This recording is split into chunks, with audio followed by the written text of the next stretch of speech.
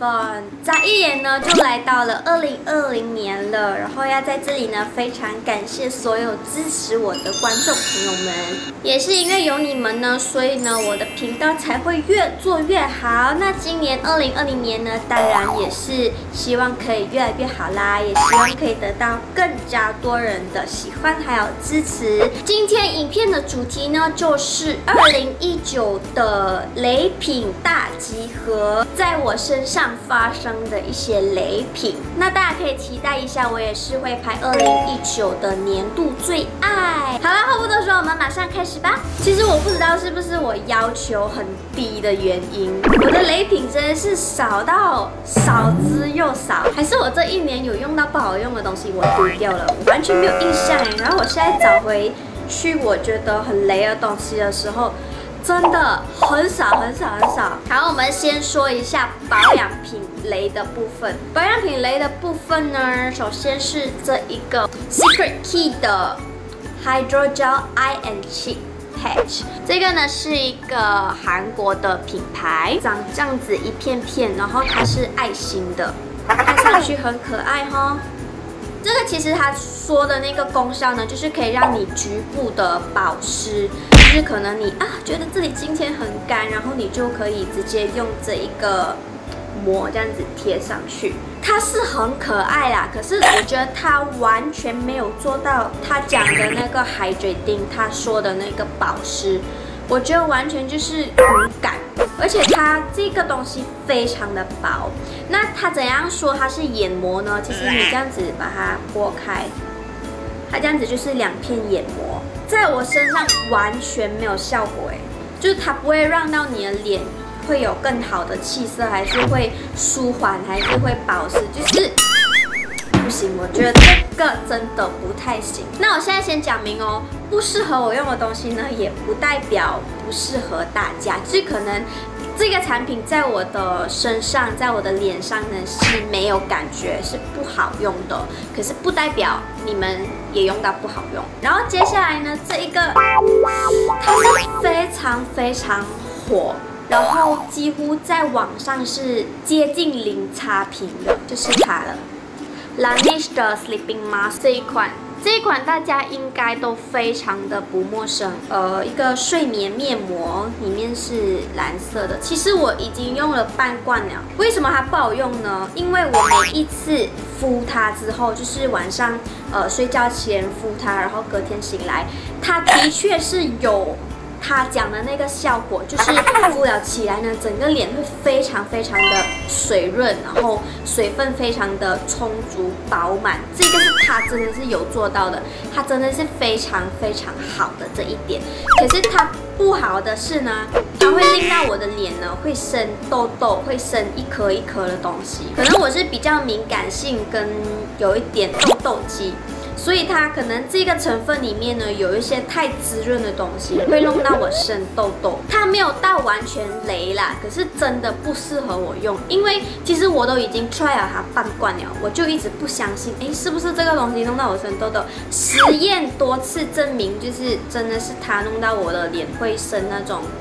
颗粒，可是我觉得如果你是干性肌肤的话，这一个非常非常的好。好，接下来的保养品呢，就是面膜。这个面膜也是最近非常的红，也是来自韩国的 JM Solution。其实它的这个牌子的面膜呢都很好，就是这一片，因为我用它的这一个啊，Honey 的很好用。可是这一个呢，它是珍珠面膜，然后它就是有。Step one, Step two 跟 Step three. Step one 就是它的 Essence 敷面膜，敷了面膜过后呢，你就可以擦它的这个 Face and Eye Cream。它发生了跟刚刚那个面膜一样的事情，就是会导致我脸生一些小小的颗粒。它讲的这个 Deep Moisture，我觉得它这个功效没有发挥到。它的这个 Eye Cream, Face and Eye Cream，我觉得很厚重。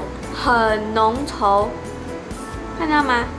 而且它擦上脸呢是很厚重的，就感觉有一层东西。可能这个面膜真的不适合我吧，but 它的这一个 这一个 honey 的就超好用。还有最后一个保养品呢，就是这一罐小小罐的护唇膏。然后这个护唇膏呢，我是那时候在澳门买的，然后它就是长得很可爱啦，就是长得像蜜糖一样。然后我就觉得好像敷蜜糖在嘴唇的感觉很好，然后我就买来 try。它里面是这样子的。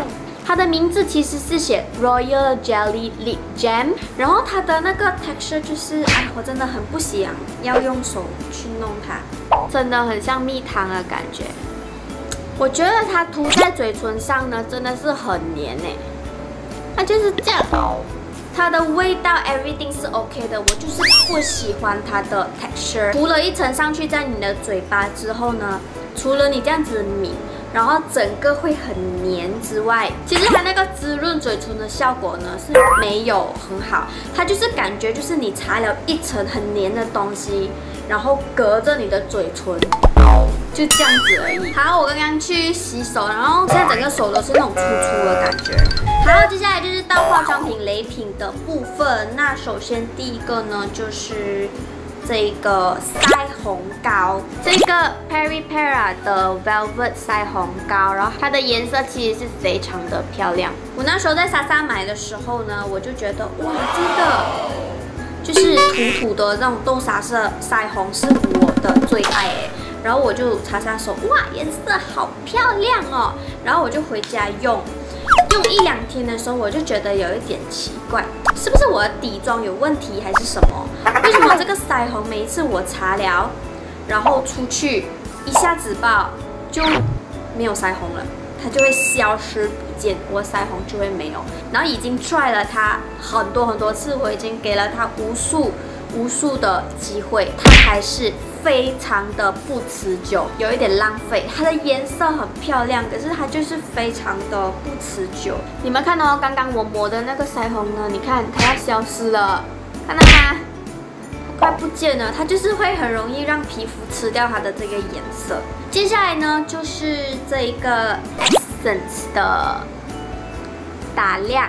Mermaid Highlighter 里面呢，就是有很多这种色彩缤纷的颜色。然后那时候买的时候呢，我觉得哎很特别耶。然后它是一个色彩缤纷的 Highlighter，然后我就被它的这个包装骗了，几乎是零的一个 Highlighter。它就是你看我刚刚一直在那边抹，我很用力的刷刷刷刷刷，然后。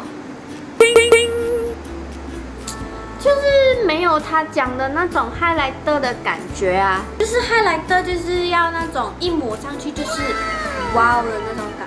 我觉得啦，这个不适合黄皮肤，因为我是属于比较偏黄的皮肤嘛。然后它整个这个颜色呢，就是已经偏黄了，所以它在我的脸上呢是几乎。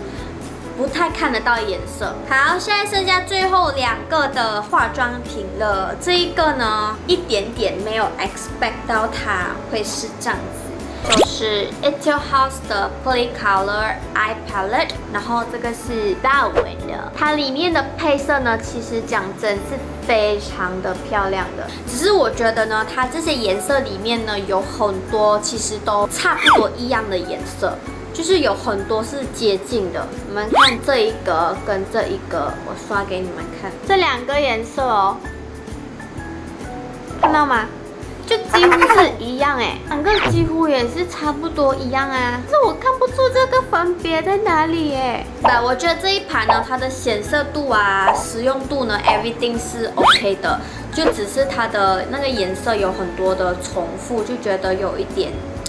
浪费这样子，所以这一盘呢就没有很雷啦，只是因为我对它的 expect 很高，然后我一直以来都非常喜欢 Etude House 他们家的眼影嘛，然后就只是这一个的配色就是觉得有一点太多，哎，怎么我擦上去跟这个颜色跟刚刚那个颜色一样啊？就是有这种。